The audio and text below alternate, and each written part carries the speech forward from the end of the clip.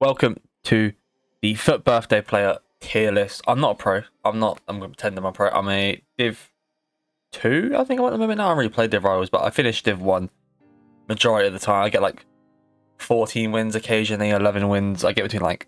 I get, I get, always get 11. I struggle to get 14, basically. Like, this is my opinion on some of these players. The first one we've got is Uray, who we will actually go into his stats in game. I mean, looking at the card, a solid centre back. You're not really going to do much. I mean, I don't really know how to describe it. It's just a boring centre back. I mean, sure, it's got five star skills, but it's got medium medium work rates, which I don't really like on my defender. Same Van Dijk though, but it's got good passing. Honestly, I think the best place to put this guy is just going to be in the mid tier because he's not the best, but he's also not the worst. Next player is Sal. Again, looking at Sal, he is not the worst card I've ever seen. Like he's he's solid. Again, it's just like three star skill possibly. He's a good cheap card, but at this point in the game, no one's going to use him. Like FUT Birthday this year compared to last year is awful. But again, it's just. Do you know what? Actually, for Sal, I'm going to be a bit more harsh. A bit more harsh. I am going to put Sal in the bad tier purely because he's not. He's not. There's so many better options for midfielders. Unless you're like a budget squad, then he's not really gonna be. You know, the one. It appears I haven't got. Oh, I have got him on there. Never mind. Chuka Wazy. I mean, Flair trait. I haven't looked at traits on these players. I should have done that, but 94 agility, 91 balance, good acceleration, good sprint speed, decent finishing, shot power's quite high. It's nice. I actually quite like this card.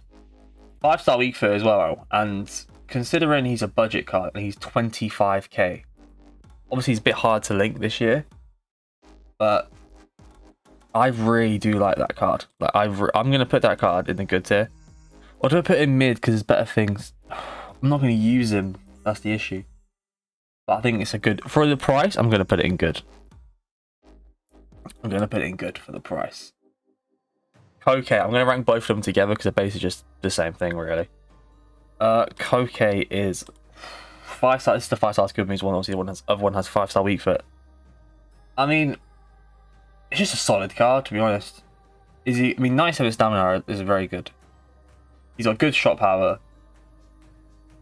Short pass is good. All the passing stats are very good. Dribbling stats are agility is a bit low, but like he's not really going to be. The pace is decent. I mean, it's crazy how that card isn't that good this year.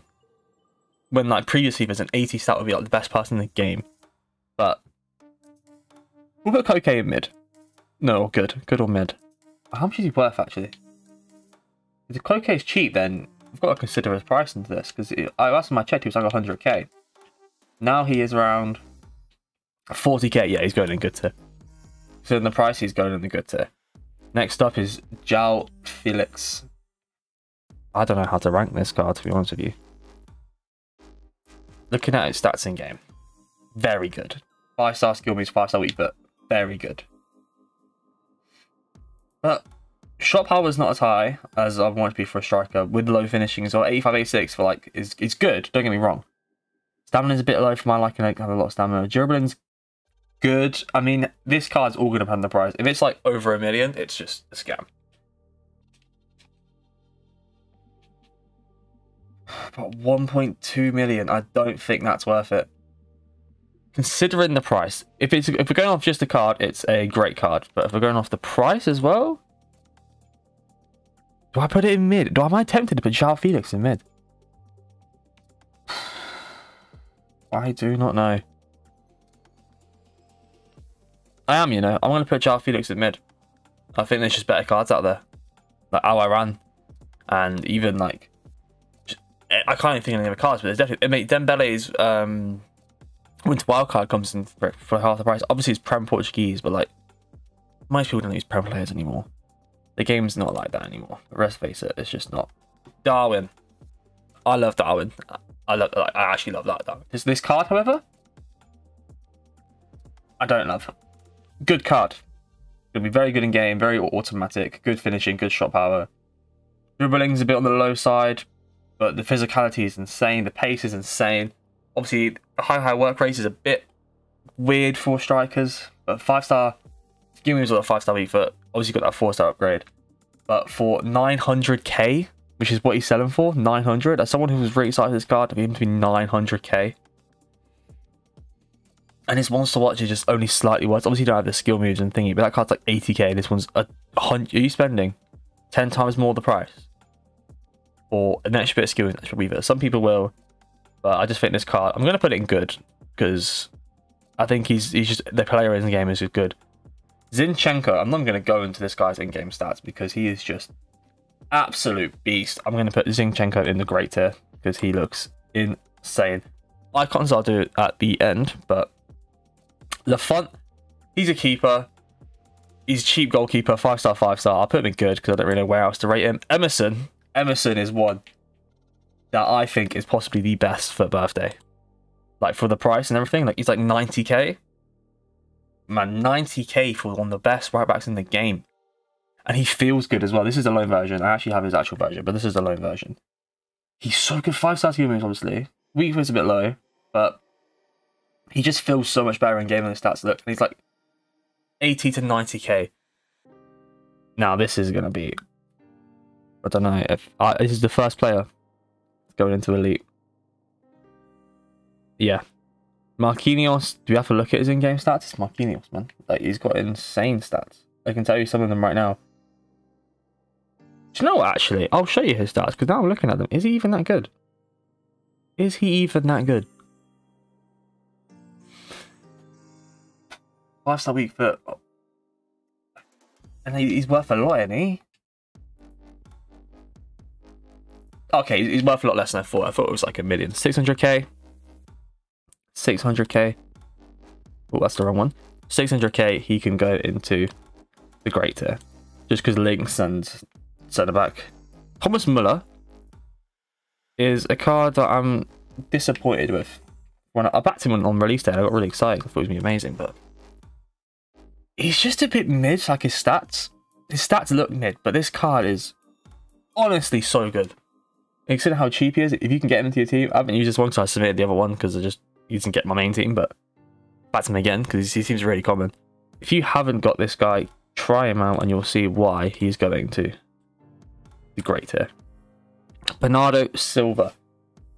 Bernardo Silva. What is this guy's stats? I haven't actually looked at his card at all, to be honest with you. And now I'm looking at it. Yeah, if I had five star skill it'd be a lot better, but Flair trait outside the foot trait. That is such a good card. How much is he though? How much is Thiago Silva? One mil? 950. I mean, it's an elite card. It's an elite card. Like, I'm saying it myself right now. It's just an elite card. Like, what else can you do? That is purely an elite card. But he's going to go in elite. Probably. I think if you pack him, he's staying in your team for a long, long time. We now have the French centre back, the SBC. I think it's like 80, 100k. It's a good card, to be honest. I'm actually going to put it in good, just straight up. Pedri is going to the bad. No, mm, no, it has to go bad to it. It's so expensive. It's so expensive for what you actually get. Like, it's crazy expensive. Like, it's like 400k, 300k SBC when his team enemy is only one stat let worse, has the 5 star skill moves, and it's like 100k. It's, it's such a bad. Iwobi, cool idea, being the same stats as Walker Okocha, but he's only going good. If you had 5 star skill moves, he would go in great. But I'm going to put him in good because I'm yet to. I'm, I'm I'm yet to try him out. Lingard, bad. Bad. This card's mid, to be honest. I quite like that card. I, I don't know why. If that card seems like it's going to do something so good in game. Star skill move, six foot four. Like, that's why he's going in mid. I haven't got him yet, but once I got him up. Alessandrini. Alessandrini, you know. God, that's a tough card. Because realistically, it's a good super sub, and that's all he is. So I think he has, he's free, but he's hard to get. I'm going to put him in mid just because the objective is really long. Icons, Rui Costa. I love Rui Costa. Like a lot of people, it's probably everyone's first icon. Rui Costa can go into the. Honestly, I'm going to put him in the great tier. Am I? Yeah, I, I think he's really good. Jairzinho is elite, but for the price, he's endgame elite. Coman, can he? Let me. I need, I need to get Coman up. Can he? If he can play CDM, then he's definitely worth it. Let's pull up Coman right now. Obviously, we'll look at Jairzinho. I don't say anything more. Outside the foot, Flair, five star, five star. Just he's an end game card. He's going to be end game price. Coman. Let's look at Coman's stats, shall we? Five star weak foot, three star skill is high medium. So he don't want to play. He can't play CDM though. His middle could. I like that card, but it can't play. Oh, do I like that card? How much is he on the market? Wait, can I not search for his birthday icon? Yeah. 400k? This might sound harsh, but I'm putting that I'm putting that card in the mid tier because he can't play CDM or anything. Best, George Best. Looks great. He's, he's not cheap, and I thought he was going to be. Matthäus is obviously going to be elite. We don't have to talk about Matthäus because that's his best card in the game. Cantona, I've actually used, and for his price, I'm going to put him in good. He's an elite, but for his price, he's just a bit too slow on the ball. Ian Rush. I'll be making a video on Ian Rush soon, so but looking at his card, I could just think he's going to be bad, so I'm going to put him in bad. But I, I, I can't trust that opinion because I haven't used him yet. This Alan Shearer, people were saying it's good, and I'm going to trust Nepenthez, Fez, but also I don't know if I can because the card, no one's got it yet. To be unfair to ranking, but going off stats alone, it looks like a a mid card. Well, but the token's a bit crap. This thing, do you know? It's a good card for the tokens you get. If you need a striker, it could be worth it. But that is the completed. There's a few players that are missing on there, like the new SCs that came out. For example, there is no Antonio. I think that's the only one actually. Antonio and no, Antonio is only one. Antonio, um, 91 pace, 87 shooting, 88 dribbling, five star weak foot, very solid card. Probably put it in the the good tier. I have just realised that the entire tier list is now gone because I moved up. So if I just scroll up a bit, is it there now? Let's scroll up a bit more. There's the final tier list. I mean, I'm, I'm happy with that one. I think that's a good tier list. It's all Pixar. Sorry about that. I didn't realize you just now.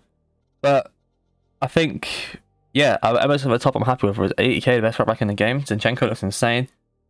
A lot of these are price based as well, bear that in mind. But yeah, that's my tier list. I mean, if, if I'll do team two tier list uh, next week, but that's team one. Not bad, not bad.